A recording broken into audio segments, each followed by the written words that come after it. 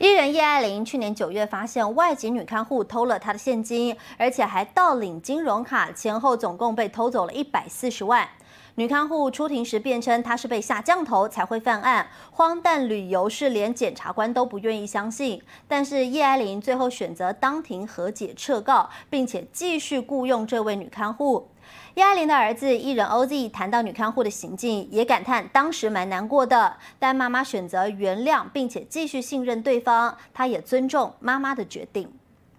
当时知道这件事情，我自己个人是蛮难过，有种被背叛的感觉。金曲新人奖得主 OZ 受访时坦言，蛮受伤的，因为外籍看护居然长期偷窃家中财物，而遭窃的失主就是他的妈妈，知名歌手叶爱玲。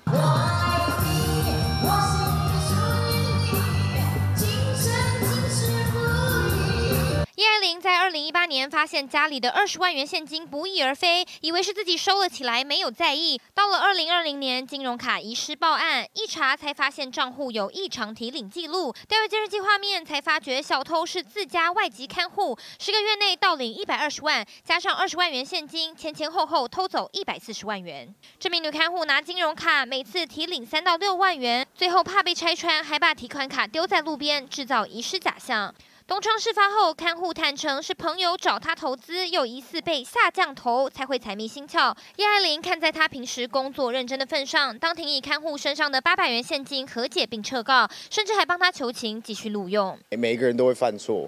所以他事出回忆，我们也